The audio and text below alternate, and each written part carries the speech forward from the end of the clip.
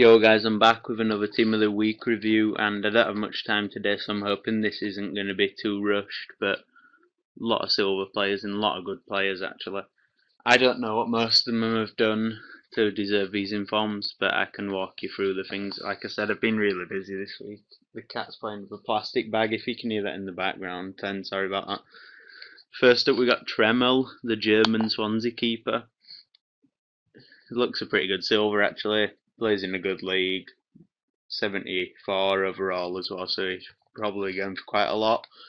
78 diving, 79 reflexes, 72 handling, 75 positioning his best stats. High cat. right, you can probably hear it purring then. But um, silver centre back, Mijat Marić.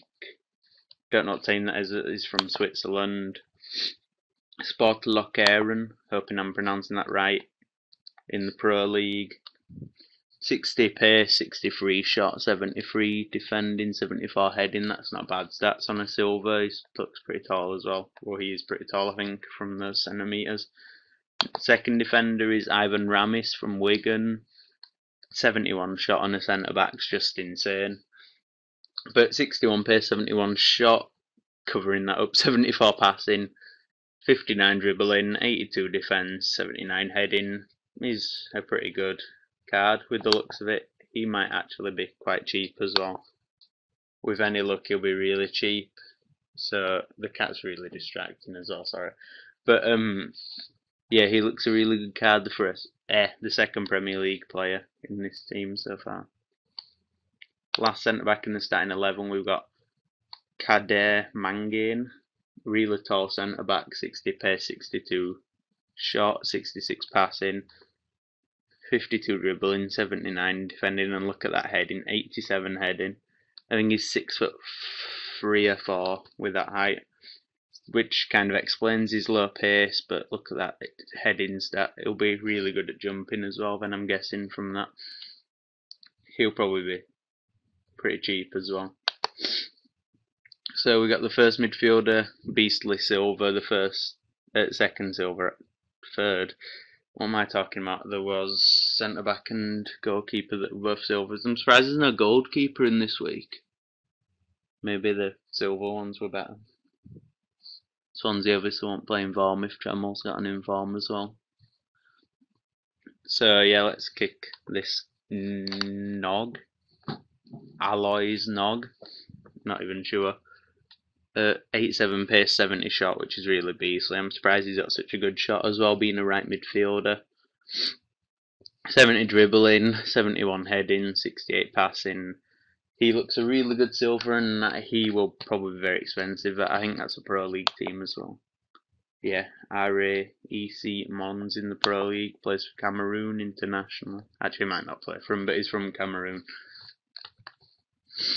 So yeah, next midfielder we have the first centre mid, Jack Wilshere, recently come back from injury, already a beast. I actually love Wilshere. I'm not even an Arsenal fan, as a lot of you'll probably know, but I actually think he's an amazing player.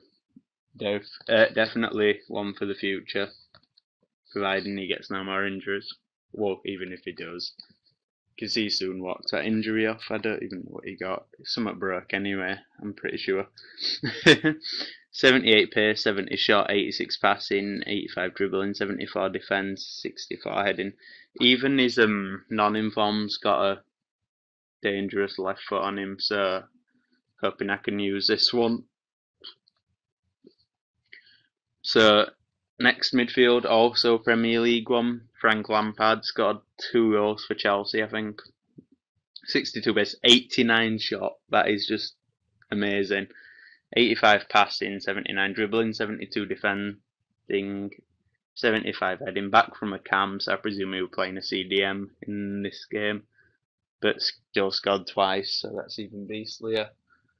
So I actually want to use him as well, but I reckon we're going for quite a lot at least like 200 grand, I'd say, with those stats and having the reputation that Lampard does. Except Bale, 93 pace, 84 shot, 85 passing, 87 dribbling, and then even good defending stats as well because he used to play left back. Absolute tank. He's second in form, I think, now. and yeah, it's just amazing. So we got Walcott who scored his hat trick, 96 pace, only 77 shots surprisingly when he got three goals. 75 passing, 82 dribbling, 96 pace is just. Actually, I think that's his normal. I think he has. I don't think he's gone up at all in pace. So yeah, he scored three goals there. And moving on to the other striker, Kenwyne Jones scored against who was it? Was it Aston? No, um, Man City they were playing. Was it? I don't even know. I'm pretty sure they were playing Man City. So 79 pace, 76 shot, 88 heading. He looks like one of those cross it in and he'll score a header player. Next striker we got Dzeko from Man City. Presuming he scored. I'm, I don't actually know it finished. I know Zabaleta scored in that game.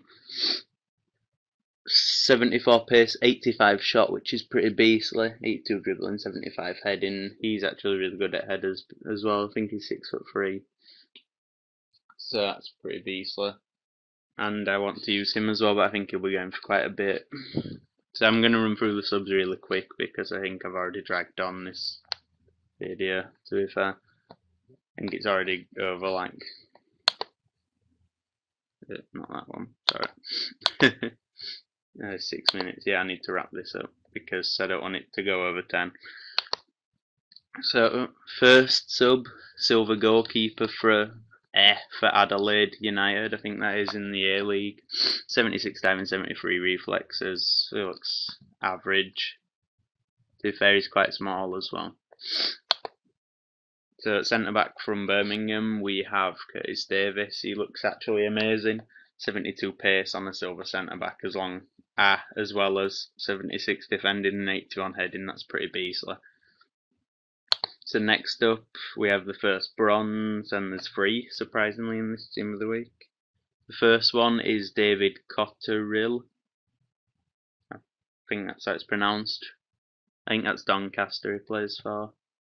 Yeah, Doncaster League One, Wales, right mid, 83 pace, you can't complain about that on a bronze, and 68 shot, 68 dribble, 65 passing. It's a really good bronze, and I think he'll be going for at least 50k.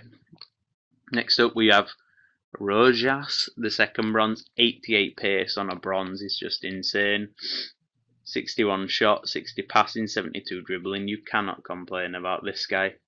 he looks absolutely amazing. Plays for Melbourne, I think, in the A League as well. Melbourne Victory or Melb Victory, yeah. From New Zealand, not Australia, like I was gonna say. He's from New Zealand. I don't think he'll be any in any New Zealand teams, but you could put him in a A League team, I guess, as well as that other inform the silver goalkeeper. So third to last player, Tavano. He actually looks like a really good player. 75 pace, 76 shot, 76 dribble. And from what I've heard as well, this guy's deserved more than this. He should have got this in form ages ago. Don't even know what team that is. I just looked as well. Serie B, Empoli. From what I've heard, they should have got this ages ago. So I'm guessing he's been in pretty consistent form as well. He's getting a lot of goals. I'm guessing when people have been saying that. So second to last player, Habibou, Habibou, Habib Habibou. what a name.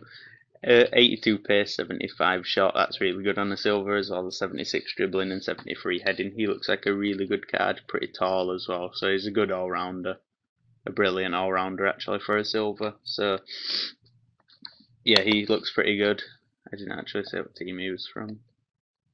Zulte Waregem in the Pro League. That's Belgian League. Plays for France.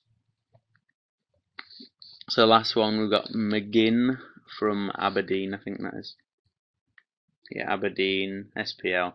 He's from Northern Ireland. Bronze with 85 pace, 71 shot. That is just insane. And he's got 72 dribbling, 64 passing as well.